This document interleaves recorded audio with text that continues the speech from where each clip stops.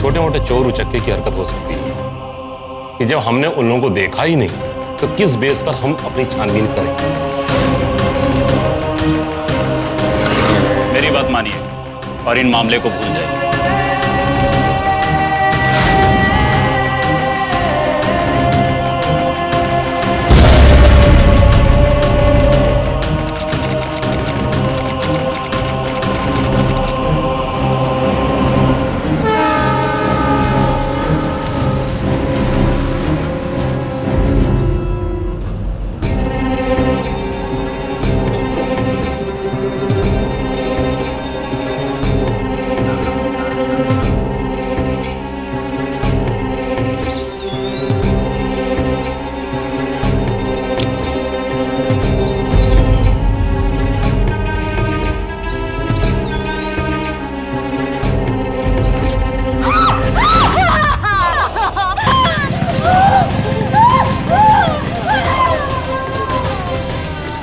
तेईस साल की दीप्ति अपने ऑफ़िस से अकेली चुपचाप घर वापस जा रही थी। कि अचानक उस पर अटैक होता है।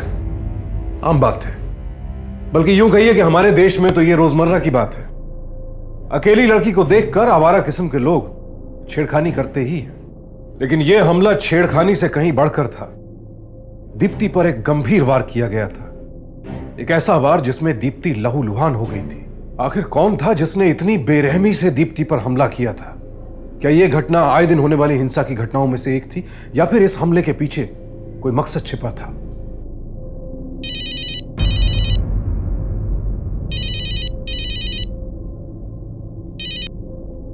हेलो? क्या? दीप्ति ये सब कैसे हो गया? मैं ऑटो में बैठने जा ही रही थी। कि अचानक से कोई पीछे आया और किसी तेज धार वाली चीज़ तुमने देखा उन लोगों को? कौन थे? पता नहीं इस शहर में क्या हो रहा है। कोई भी किसी भी वक्त खैर हम अपनी तरफ़ से पूरी कोशिश करेंगे। देखिए हमने स्टिचिंग कर दी और ड्रेसिंग भी कर देता हूँ लेकिन तुम्हें हर दो दिन के बाद ड्रेसिंग के लिए यहाँ पे आना होगा। माँ। और दीप्ति तुम्हें दवाई टाइम पे लेनी होगी ताकि ये सब घाव जल्दी से भर जाए। तो क्या डॉक्टर ने निशान मेरे चेहरे पर। यस दीप्ति इनमें से घाव काफ़ी डीप है। देखिए हम अपनी तरफ़ से पूरी कोशिश करेंगे लेकिन ये कहना बहुत मुश्किल है। पता नहीं क्या बिगाड़ा था मेरी बच्ची ने किसी का। आंटी आप हिम्मत रखिए। मुझे लगता है कि हमें पुलिस में एफआईआर करवा देनी चाहिए। यस इज़ राइट देखिए हमें एफआईआर तो करनी ही चाहिए।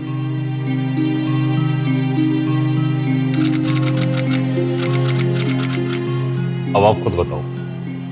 आपने उसका चेहरा देखा ही नहीं। हम कैसे उसके खिलाफ शिकायत लिख सकते हैं? एक मिनट सर। आप ये कैसे कह सकते हैं? आपकी तारीफ़ सही है अंकुर हम एक ही ऑफ़िस में काम करते हैं और मेरे निकलने के थोड़ी देर बाद ही ये निकले थे। और हॉस्पिटल भी इन्होंने मुझे पहुँचाया। देखिए मैडम मुझको लगता है ये किसी छोटे मोटे चोर उचक्के की हरकत हो सकती है। गले की चेन या बैग वगैरह छीनते वक्त उसी चक्कर में उसने आप पर हमला कर दिया होगा। लेकिन गले में चेन तो ये पहनती नहीं है। और सर उसने डायरेक्ट मेरे चेहरे पर अटैक किया। उन्हें अगर कुछ छीनना होता तो मेरे हाथ में बैग भी था सर। देखिए देखिए आप लोग हमारी बात नहीं समझ रहे हैं। सर आप बस रिपोर्ट दर्ज कर लीजिए और उन्हें कैसे भी ढूंढिए अंदर कर दीजिए। बहुत खतरनाक लोग हैं। मुझे नहीं पता मेरी बेटी के साथ ऐसा क्यों कर रहे हैं सर। जब हमने उन लोगों को देखा ही नहीं तो किस बेस पर हम अपनी छानबीन करें? बताइए। देखिए मेरी बात मानिए। ये कंप्लेन अपने छोड़ दीजिए ठीक है? आप इस बच्ची को अपने साथ घर ले जाइए और उसका ध्यान रखिए बस। दीप्ति के लिए इस तरह के हमले से गुजरना एक सदमे की तरह था। लेकिन एक माँ के लिए भी अपनी बेटी को इस दर्द से गुजरते हुए देखना आसान नहीं था। बाला अपनी बेटी का साथ देने की कोशिश करती रही, लेकिन कहीं ना कहीं वो भी खुद को लाचार पाती थी। वो जानना चाहती थी कि आखिर किसने उनकी बेटी की ज़िंदगी खराब की है और क्यों? क्या मकसद था उसकी बेटी पर इस तरह हमला करने का? लेकिन कहीं कोई सुराग नहीं था। दोनों मजबूर थे। लेकिन इससे यह सच नहीं बदलने वाला था कि इस एक घटना की छाप अब हमेशा दीप्ति के साथ रहेगी। गुर तुम पहले ही मेरी बहुत मदद कर चुके हो। ये रोज रोज फूल लेकर आ जाते हो। लेकिन मुझे इसकी कोई ज़रूरत नहीं है। मुझे किसी से मिलने का मन नहीं करता। मैं ठीक हूँ।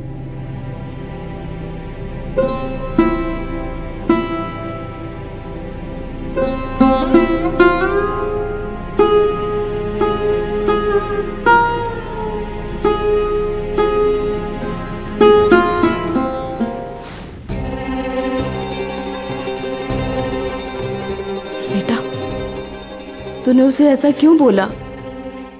मुझे तो वो लड़का अच्छा लगता है और फिर हमारी हर परेशानी में हमारे साथ आके खड़ा होता है।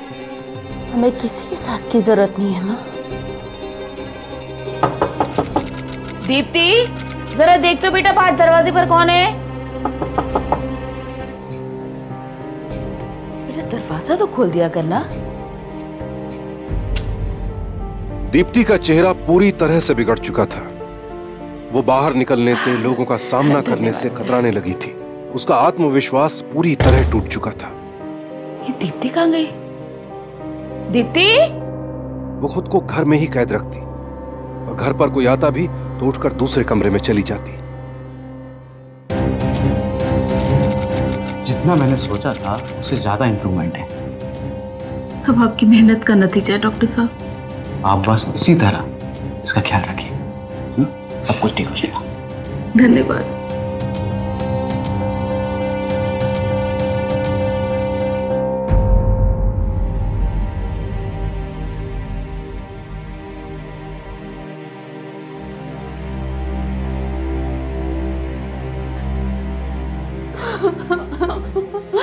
सब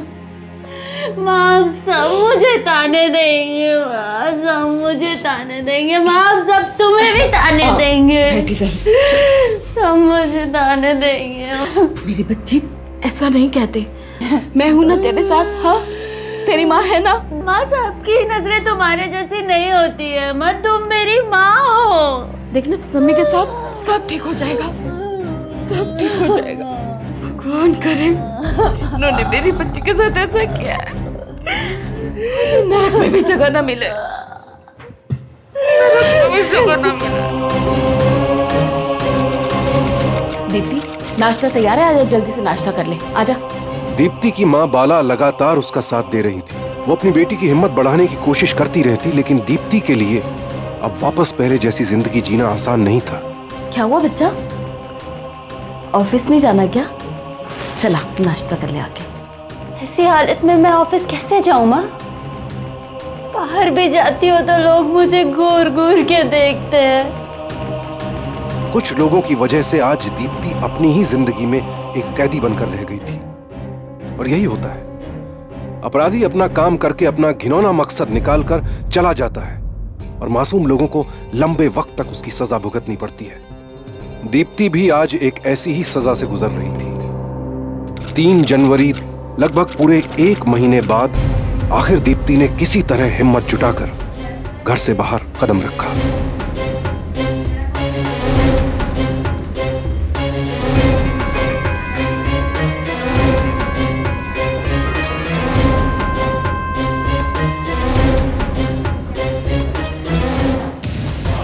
कितनी बुरी हालत हो गई है उसके चेहरे की? मुझे तो देख के ही डर लग रहा है।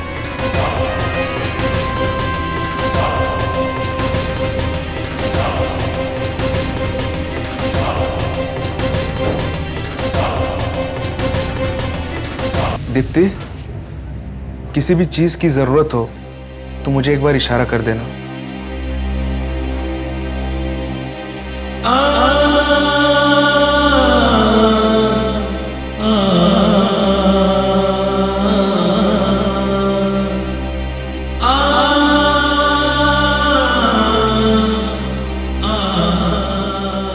दीप्ति चलो मैं तुम्हें घर छोड़ देता हूँ। नहीं मैं चली जाऊँगी।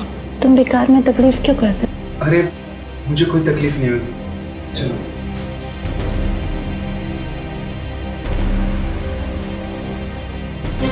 देख उसके लिए सब कुछ करेगा लेकिन अपनी मन की बात उसे कभी नहीं बताएगा।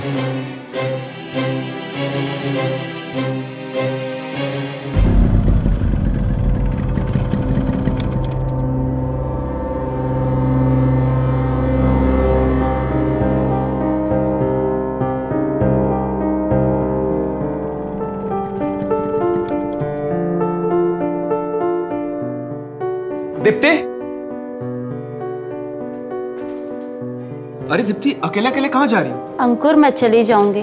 तुम्हें बेकार में मेरी वजह से लंबा रास्ता लेना पड़ता है। अरे अचानक तुम्हें क्या हुआ? हाँ? इतने दिनों से तो हम साथ में वही तो मैं कह रही हूँ अंकुर। तुम रोज रोज मुझे घर छोड़ते हो। कभी कभी की बात और होती है पर रोज रोज नहीं। तुम ऑलरेडी मेरी बहुत मदद कर चुके हो।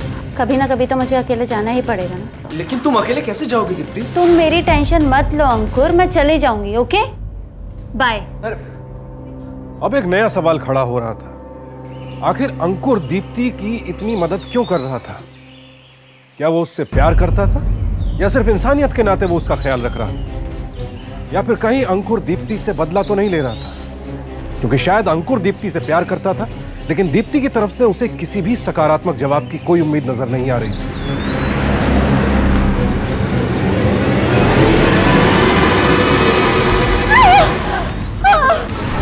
ये दीप्ति पर दूसरा हमला था। इस बार वार चाकू से किया गया। दीप्ति को पहले से भी कहीं ज़्यादा चोट आई थी। लेकिन इस बार दीप्ति की माँ चुप नहीं बैठने वाली थी।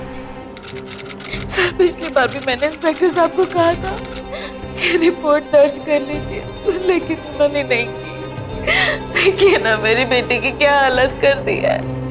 एक महीने में दो दो बार अटैक किया है। देखिए इसकी क्या हालत हो गई। क्या आपने उनका चेहरा देखा है?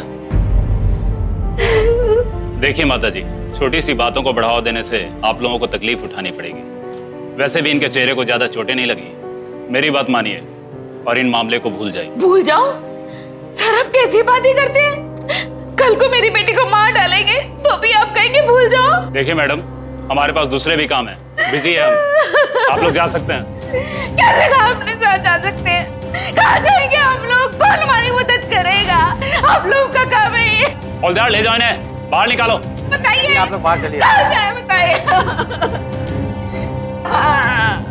चलिए बाहर। तभी तो सब लोग ऐसे घूमते रहते कुछ भी कोई करते दीप्ति और उसकी माँ को एक बार फिर मायूसी का सामना करना पड़ा। चल बेटा नहीं तो ऑफ़िस के लिए देरी हो जाएगी। चल ना। अरे देर हो जाएगी। तू चिंता क्यों कर रही है? मैं हूँ ना तेरे साथ। नहीं माँ मुझे बहुत डर लग रहा है। नहीं नहीं कुछ नहीं होगा। चल मैं लेने भी आ जाऊँगी। चार दिन बाद जब दीप्ति ने एक बार फिर ऑफ़िस ज्वाइन किया तो उसकी सलामती के लिए उसकी माँ बाला ने उसका साथ देने का फैसला किया।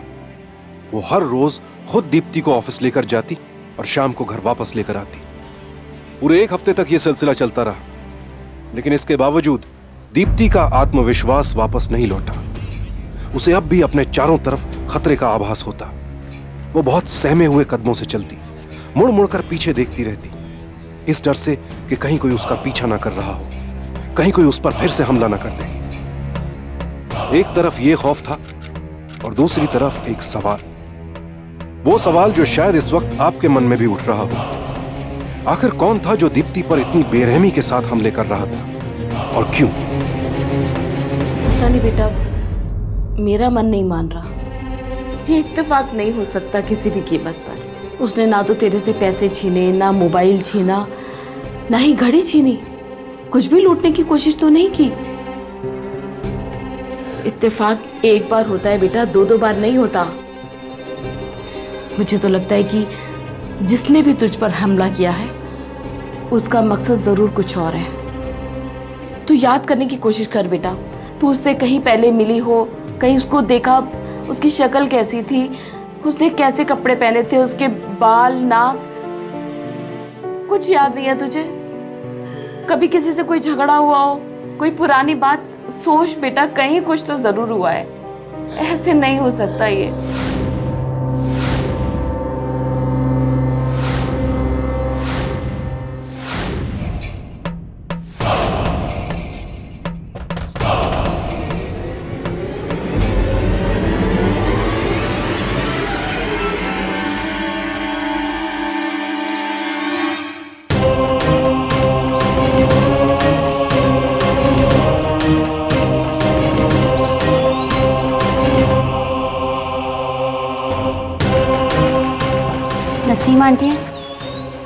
अम्मी।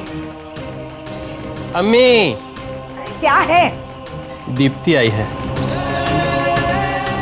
आंटी ये रेंट के पैसे माने भेजे।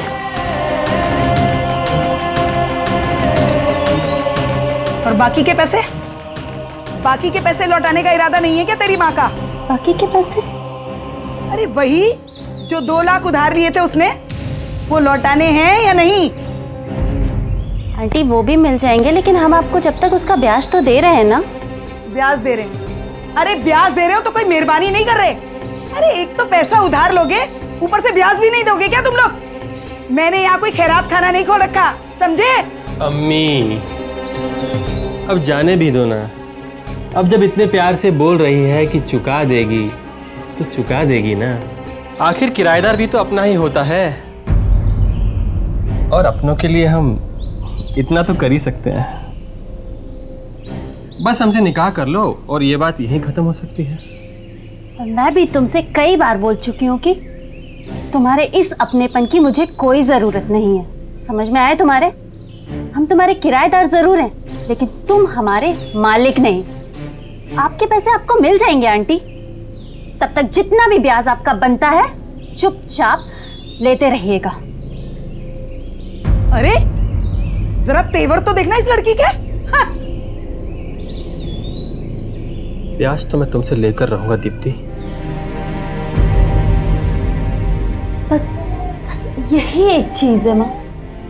मुझे भी पहले शक हुआ था लेकिन, लेकिन बिना सबूत के हम कुछ नहीं कर सकते। शक के बिना पर हम कैसे साबित करेंगे कि वो मोई नहीं था? माँ मैंने तो हमला करने वाले का चेहरा तक नहीं देखा। पुलिस भी हमारी मदद नहीं करेगी माँ। अगर पुलिस हमारी मदद नहीं करेगी तो हमें कुछ करना होगा। लेकिन हम इस बात की तह तक जाकर रहेंगे कि ये इंसान कौन है। लेकिन सबसे पहले हमें ये जगह बदलनी होगी। और अगर वो मोहिनी है तो हमारा यहाँ रहना खतरे से खाली नहीं। दीप्ति और बाला नहीं जानते थे कि इन हमलों के पीछे किसका हाथ था। उन्हें इस बात का अंदाज़ा भी नहीं था कि ये घिनौनी हरकतें कोई अजनबी कर रहा था या कोई उनकी जान पहचान वाला। बाला सिर्फ़ इतना जानती थी कि पुलिस उनकी मदद नहीं कर रही थी। और पुलिस की मदद के बिना वो और भी ज़्यादा लाचार और मजबूर थे। बाला अब दीप्ति को लेकर और कोई खतरा मोल नहीं लेना चाहती थी। हालाँकि बाला को पैसों की बहुत तंगी थी, फिर भी उन्होंने दीप्ति के साथ कहीं और जाकर रहना ज़्यादा ठीक समझा, ताकि उनकी बेटी को अब कोई और चोट ना सके।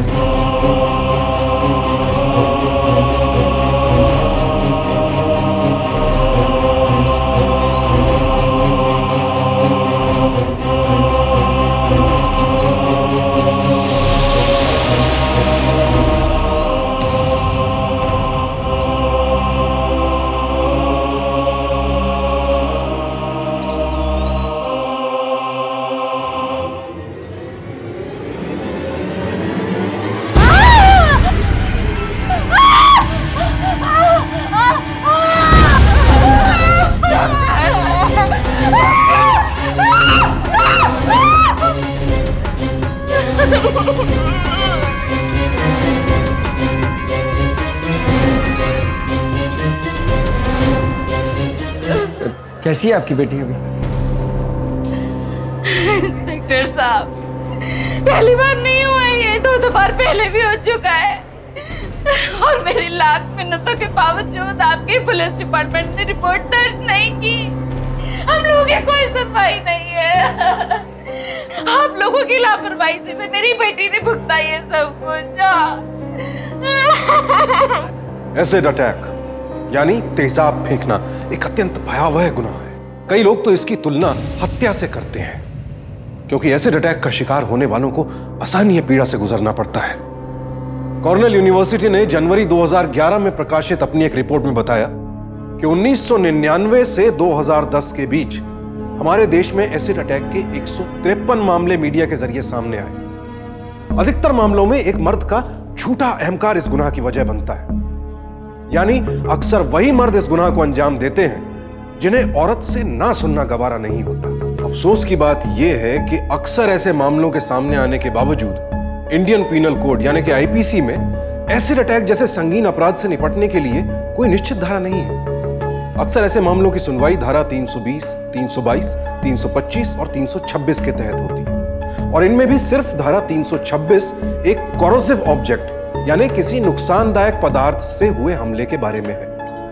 हालाँकि इस धारा के तहत अपराधी को आजीवन कारावास की सजा दी जा सकती है, लेकिन ज़्यादातर अपराधी तीन या चार साल जेल में बिताने के बाद जमानत पर बाहर आ जाते हैं। और अगर कभी किसी अपराधी को जुर्माना भरना भी पड़ता है तो वो बेहद मामूली होता है। शायद दीप्ति का अपराधी यह बात जानता था, और इसीलिए उसने बेखौफ यह हमला किया।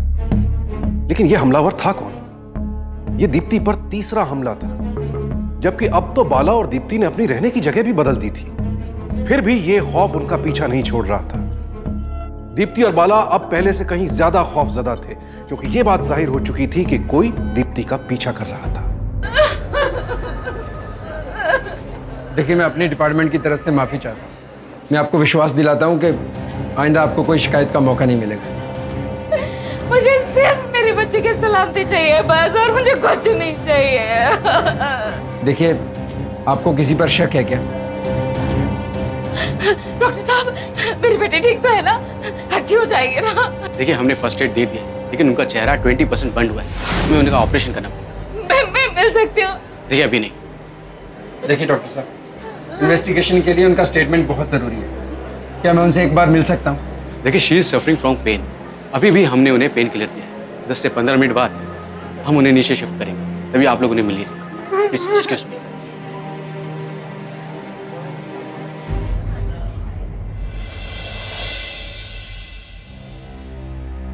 आप ठीक है?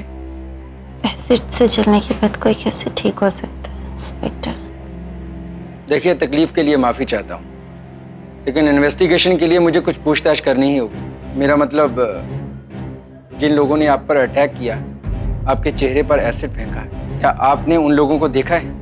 पता नहीं मैंने उनका चेहरा आज से पहले कभी नहीं देखा। आपको किसी पर शक है? मेरा मतलब किसी के साथ पुरानी दुश्मनी या आपका कोई बॉयफ्रेंड जो ये सब कर सकता है? सर शक तो है लेकिन यकीन के साथ नहीं कह सकते। मतलब? मतलब कि हमारी लैंड लेडी का बेटा है मोइन वो इस पर बुरी नज़र रखता है। और इसके अलावा कुछ याद है आपको? मेरा मतलब और कोई इंसिडेंट मोइन ने कभी परेशान किया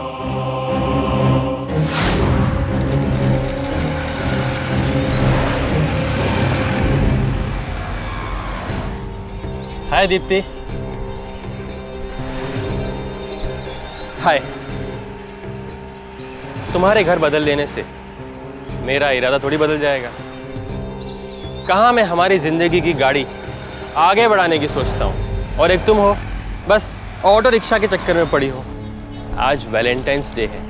वैलेंटाइंस डे चल मेरे साथ। तेरे लिए मेरे पास एक खास तोहफा है। मोहीन मैं तुमसे पहले भी कह चुकी हूँ कि तुम्हारी इन घटिया बातों के लिए और इन घटिया तोहफों के लिए मेरे पास जरा भी वक्त नहीं है। आइंदा अपनी इन घटिया बातों से मुझे जरा भी परेशान करने की कोशिश भी की ना तो मुझसे बुरा कोई नहीं होगा। ना ध्यान रखना तुम देखना तो तू अब। याद रखेगी मुझे। तो आप कह रही हैं कि मोइन को आपने दीप्ति के ऑफ़िस के बाहर देखा। इंस्पेक्टर साहब। इस पर मेहरबानी करके। कहीं ऐसा ना हो फिर से वो मेरे बच्चे के साथ। देखिए माँ जी आप चिंता मत कीजिए। आप बस अपनी बेटी दीप्ति का ध्यान रखिए। बाकी सब मैं देखता हूँ। चलता हूँ।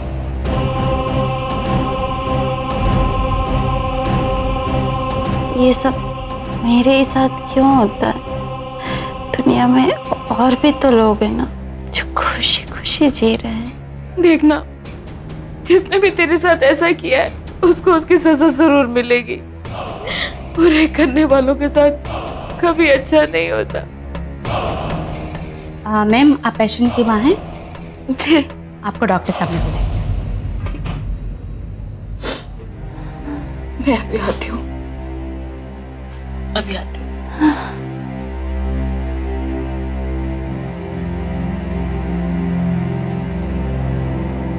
सर आपने बुलाया था? जी आप बैठिए।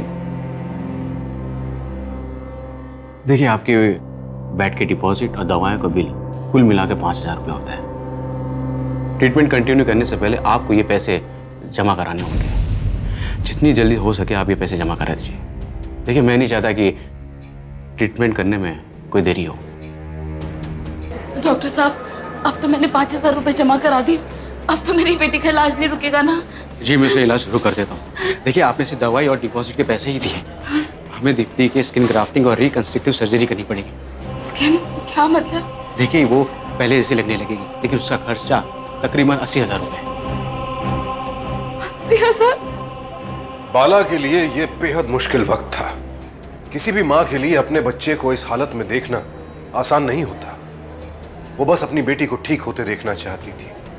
उसे उसका चेहरा वापस देना चाहती थी, ताकि दीप्ति को उसकी पहले वाली ज़िंदगी वापस मिल सके। लेकिन एक गरीब इंसान के लिए यह आसान नहीं था। दीप्ति को रिकंस्ट्रक्टिव सर्जरी की ज़रूरत थी। एसिड अटैक के पीड़ितों को ऐसी सर्जरी की ज़रूरत पड़ती है। एक मामूली से मामूली रिकंस्ट्रक्टिव सर्जरी का खर्चा अस्सी हज़ार से एक लाख रुपयों तक हो सकता है। और अगर एसिड अटैक ज़्यादा गंभीर हो तो यह खर्चा कई लाख में पहुँच जाता है। हैरानी की बात यह है कि इतना नुकसानदायक और हथियार की तरह इस्तेमाल किया जा सकने वाला पदार्थ किसी भी दुकान से सस्ते दामों में आसानी से खरीदा जा सकता है। हम आपको बता दें कि दुनिया भर में एसिड अटैक के सबसे ज़्यादा मामले हमारे पड़ोसी मुल्क बांग्लादेश में दर्ज किए जाते हैं। और इसीलिए सन 2002 में बांग्लादेश सरकार ने ऐसे पदार्थों की बिक्री को नियमित कर दिया। और जल्दी इसका असर भी देखने को मिला। इस कानून के लागू होने के बाद एसिड अटैक के मामलों में 15 से 20 प्रतिशत की कमी दर्ज की गई। सोचने वाली बात यह है कि हमारे अपने देश में ऐसा कोई कदम क्यों नहीं उठाया? गया हम ये नहीं कह रहे हैं कि ऐसा कानून लागू कर देने से यह अपराध जड़ से खत्म हो जाएगा। लेकिन हाँ कम से कम ये सही दिशा में पहला कदम तो होगा। वरना अपराधियों को यह पदार्थ यूँ ही आसानी से सस्ते दामों में मिलता रहेगा और दीप्ति जैसी लड़कियाँ इसकी भारी कीमत चुकाती रहेंगी। दीप्ति की देखभाल के लिए मुझे अपनी नौकरी भी छोड़नी पड़ी। ऊपर से नए मकान का खर्च। मैं अपने लिए कुछ नहीं मांग रही हूँ सर। मुझे दीप्ति की मदद के लिए चाहिए।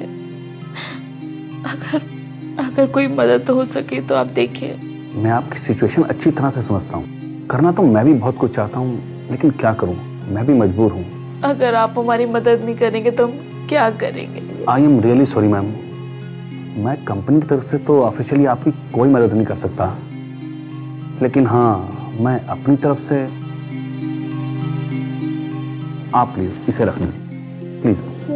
आप सोचिए मत इसे रख लीजिए। और मैं अपनी तरफ़ से पूरी कोशिश करूँगा कि दीप्ति की सैलरी जो अब तक की है जल्द से जल्द रिलीज़ हो जाए। धन्यवाद सर। तो तुम्हें कुछ नहीं पता।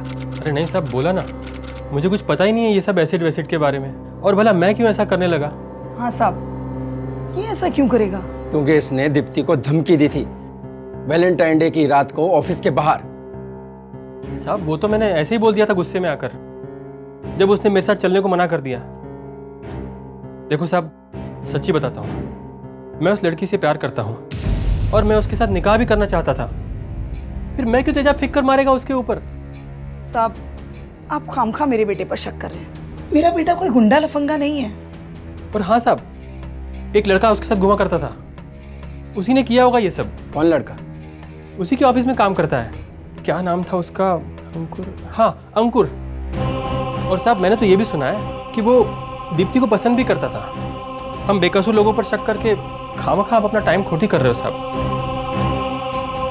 अभी तो मैं जा रहा हूँ लेकिन वापस ज़रूर आऊँगा।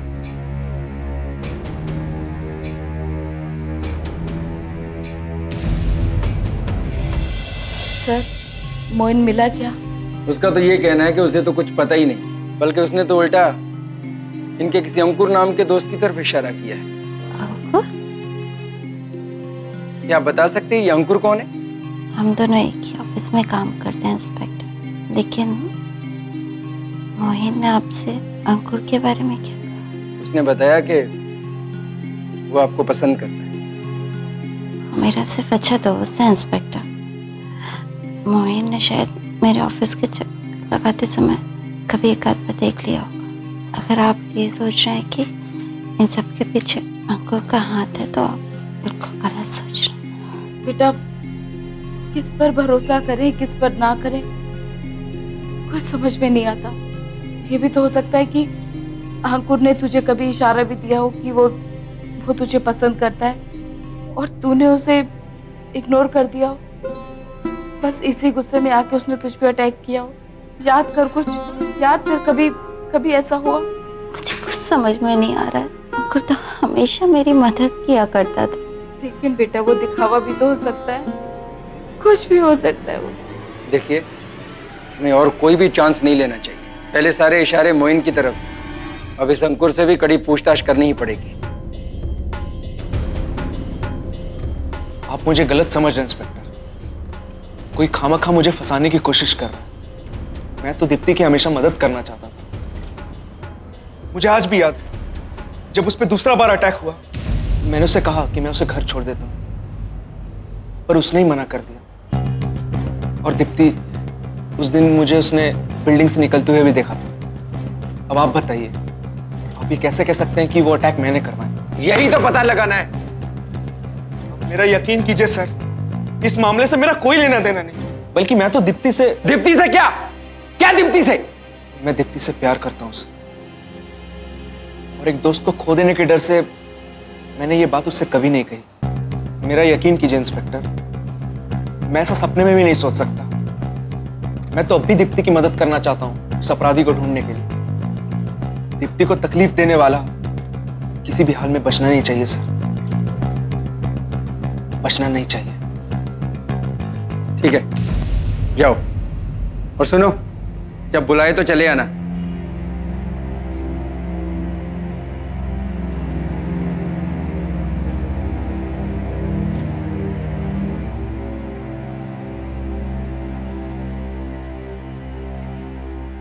क्या ये? सर, ये कुछ पैसे हैं, जो मैंने दीप्ति के इलाज के लिए इकट्ठे किए थे। मैं दूँगा तो अजीब लगेगा। प्लीज़ आप माँ जी को ये दे दीजिए और हाँ उनसे कहिएगा नहीं कि ये पैसे मैंने दिए। सर, कभी भी किसी चीज़ की ज़रूरत हो, सर, ज़रूर मुझे बताइए।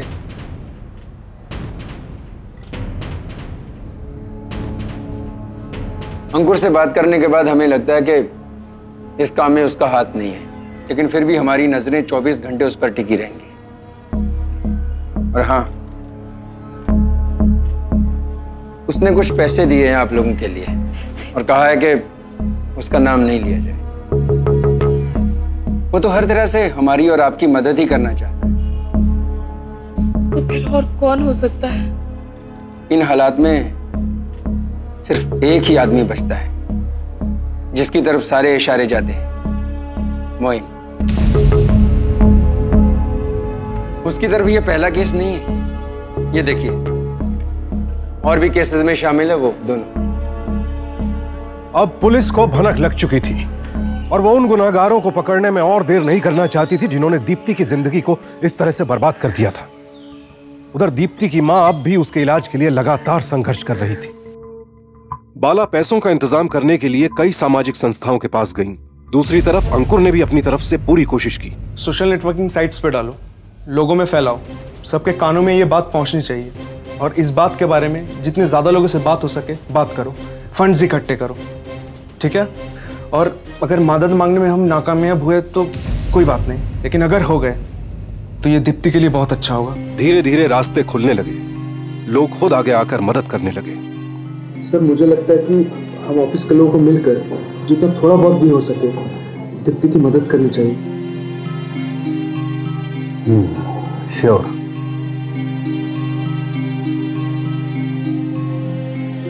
आठ हज़ार रुपये और ये दस और बारह हज़ार का चेक। कुल मिलाकर हुए तीस हज़ार। ठीक है, पहले ये अस्पताल में जमा करवाती हूँ। बाकी का खर्च बाद में देखती हूँ। ठीक है?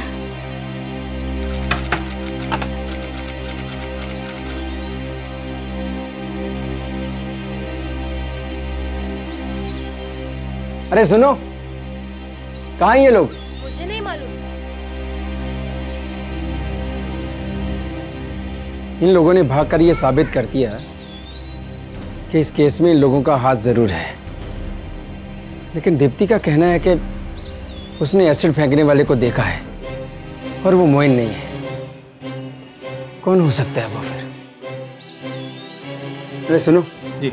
आस पड़ोस में सबसे पता करो मोइन और उसकी अम्मी कहाँ मिलेंगे।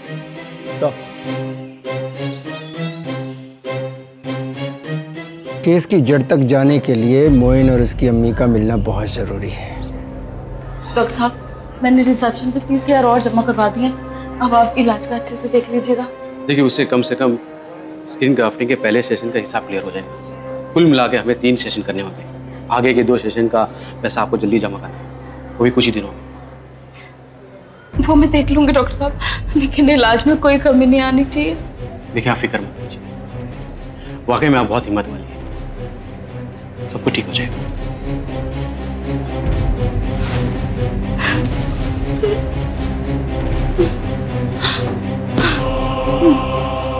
सर कुछ पता चला मोइन का? देखिए मोइन और उसकी माँ दोनों फरार हो चुके हैं। देखिए आप चिंता मत कीजिए। हमारा पूरा नेटवर्क उनको ढूँढने में लगा है। ज़्यादा टाइम तक वो हमसे बच नहीं सकते। और हाँ आपको किसी उनके रिश्तेदार या करीबी दोस्त के बारे में पता है? जिससे उनके बारे में हमें कुछ इन्फॉर्मेशन मिल सके। नहीं।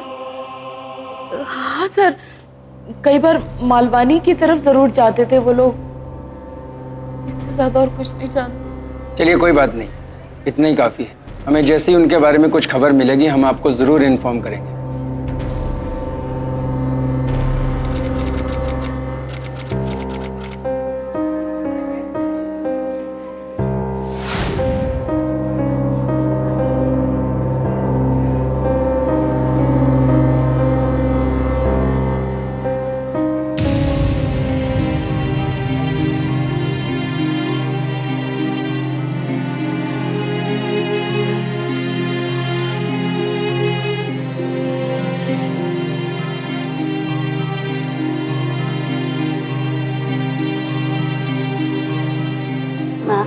कैसी दिख रही है?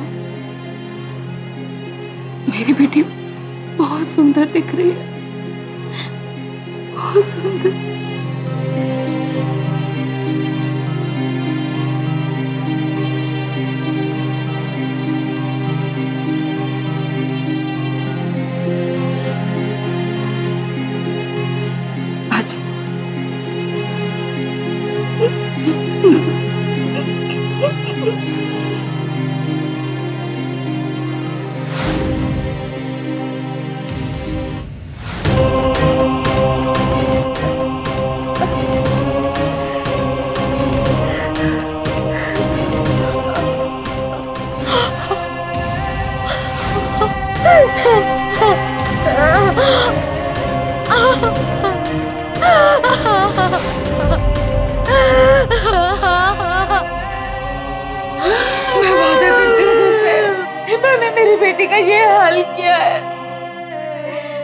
उन्हें नहीं छोड़ूँगी मैं। उन्हें इसकी सजा ज़रूर मिलेगी। ज़रूर मिलेगी, नहीं छोड़ूँगी मैं।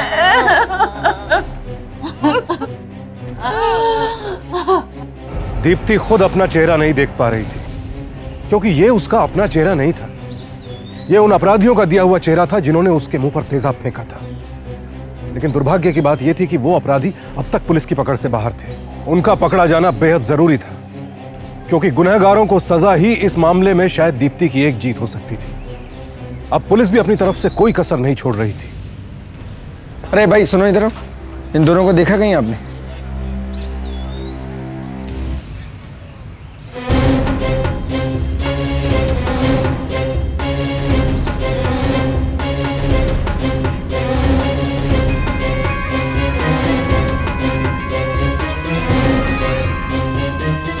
देखिए हमें ऐसे दो सेशन और करने होंगे।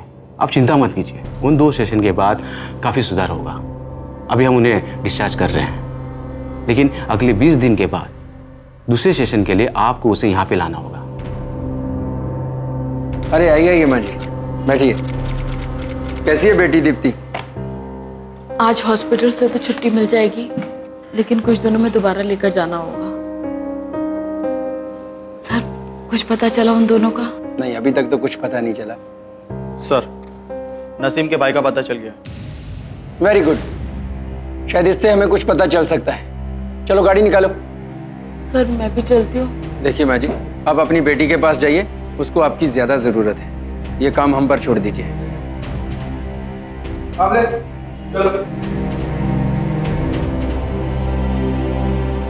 बता कहाँ है वो दोनों? कौन साहब नसीम और मोइन। कहाँ छुपे बैठे माँ और बेटा? अरे मुझे क्या पता साहब? कहाँ है वो दोनों? कुछ तो पता होगा। कहीं तो जा सकते हैं अपने घर के अलावा वो। हाँ साहब मालवानी में उनका एक और घर है। हो सकता है वो दोनों वहीं मिल जाए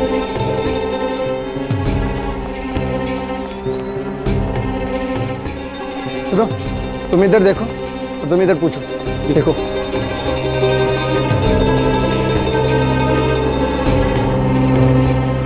अरे सुनो भाई ये तीन सौ नंबर घर किधर है?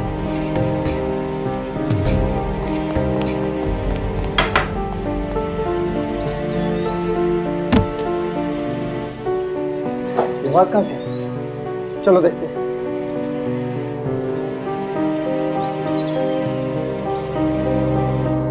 मोइन है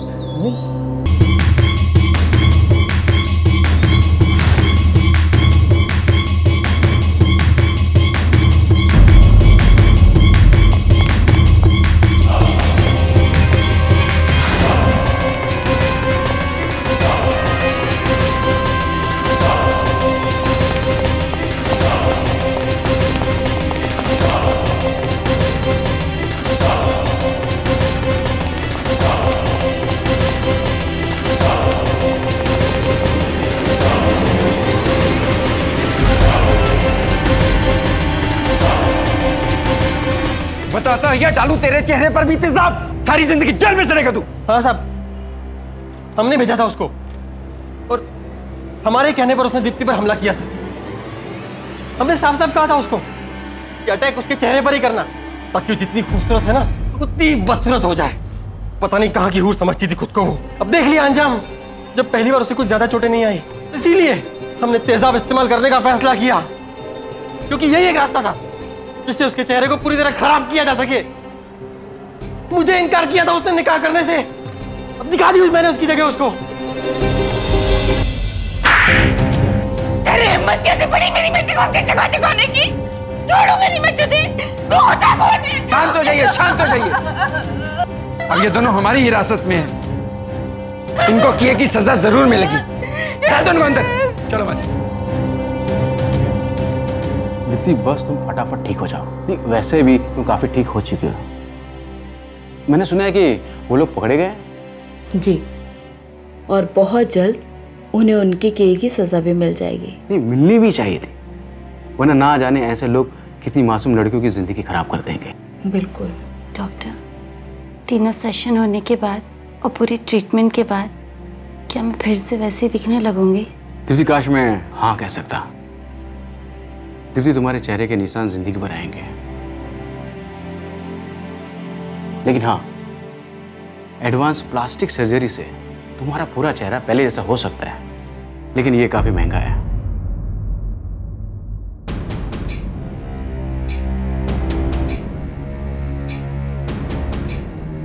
तू फ़िक्र मत कर।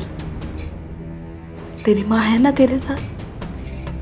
मोइन नसीम और वो शख्स जिसे दीप्ति पर तेजाब फेंकने के लिए पैसे दिए गए सभी अब पुलिस की गिरफ्त में हैं। लेकिन वो दीप्ति जो ज़िंदगी से हरदम खुश रहा करती थी। अब शायद ज़िंदगी भर लोगों की नज़रों का शिकार हो। जबकि सच तो यह है कि आज दीप्ति की जो हालत है, उसके लिए दीप्ति कहीं भी जिम्मेदार नहीं है। दीप्ति की जरा सी भी गलती नहीं है। गलती है तो घटिया सोच रखने वाले उन मर्दों की, जो औरत को अपनी जागीर समझते हैं, जो चाहते हैं कि औरतें बस उनकी हाँ में हाँ मिलाती जाए। और अगर औरत ने इनकार किया तो उनकी मर्दानगी, उनके अहम को ठेस पहुँच जाती है। और फिर सिर्फ़ अपनी नज़रों में, अपनी झूठी शान को बरकरार रखने के लिए ये लोग इस तरह के घिनौने अपराध कर बैठते हैं। ज़रूरत है एक ऐसे कानून की आईपीसी की एक ऐसी धारा की जो एसिड अटैक्स के अपराध को सीधे संबोधित करती हो, ताकि सख्त कानून के अभाव में अपराधी बच न सके। हम सलाम करते हैं दीप्ति की माँ बाला को, जिन्होंने हिम्मत नहीं हारी। न सिर्फ़ अपनी बेटी का हर पल साथ दिया, बल्कि उसे इंसाफ दिलाने के लिए लगातार लड़ती भी रही। हम सबको सबक लेना चाहिए उनसे। और ऐसे दरिंदों के खिलाफ आवाज़ उठानी चाहिए। एसिड अटैक अपने आप में एक बहुत बड़ा सदमा है। और इस जुर्म के पीड़ितों की काउंसलिंग के लिए कई एनजीओ काम कर रहे हैं। अगर आपकी जानकारी में कोई ऐसी महिला है, कोई ऐसा शख्स है, जो इस अपराध का शिकार हुआ हो तो उसे हिकारत की नज़रों से मत देखिए। वो वही हैं जो पहले थे। और पहले जैसी ज़िंदगी जीने में उनकी मदद कीजिए। इसी के साथ मैं सुशांत सिंह आपसे इजाज़त लेता हूँ। जल्दी आपसे फिर मुलाकात होगी। एक साधारण इंसान के असाधारण हौसले की सत्य घटना के साथ। सावधान इंडिया। India fights back. तो सावधान